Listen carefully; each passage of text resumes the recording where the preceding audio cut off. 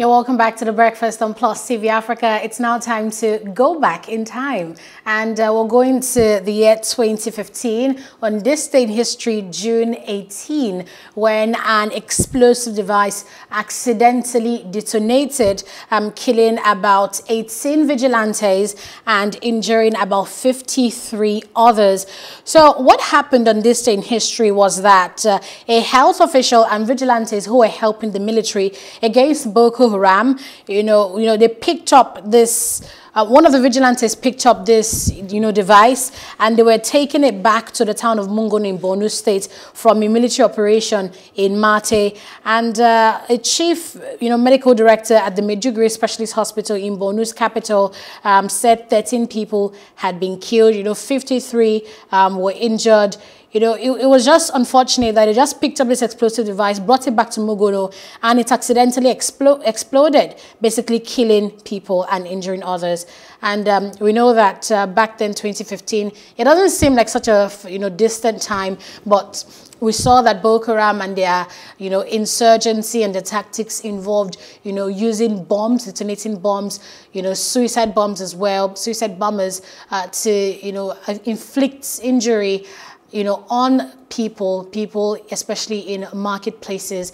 But this one was just purely an accident, you know. They picked up this device, it accidentally detonated, and people lost their lives. That was really, really, really, really sad. We'll also go back to history. Uh, in 1894, uh, the Uganda Protectorate was established and the territory was extended beyond the borders of Buganda to an area that roughly corresponds to the present-day of Uganda. Let me just give you a bit of a background to that particular story right now. In the mid 1880s, the kingdom of Uganda was divided between four religious factions adherents of Uganda's native religion, that's the Catholics, the Protestants, and the Muslims, each vying for political control. In 1888, Mwanga II was ousted in a coup led by the Muslim faction, who installed Kalema as the leader. The following year, a Protestant and Catholic coalition formed to remove Kalema and return Mwanga II to power. This coalition secured an alliance with the Imperial British East Africa Company and succeeded in ousting Kalema and reinstating Mwanga in 1890. The IBEAC sent Frederick Lugard to Uganda in 1890 as its chief representative and to help maintain the peace between the competing factions.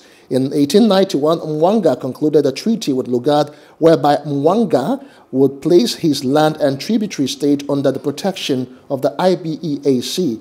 In 1892, having subdued the Muslim faction, the Protestants and Catholics resumed their struggle for supremacy, which led to civil war. That same year, the British government extended their support for the IE, IBEAC to remain in Uganda.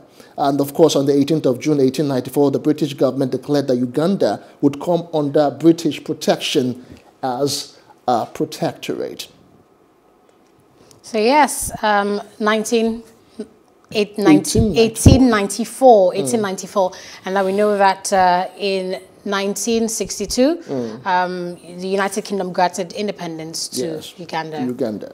So that's all we have for you on Today in History. Uh, we'll take a break here and return to our first major conversation of the day.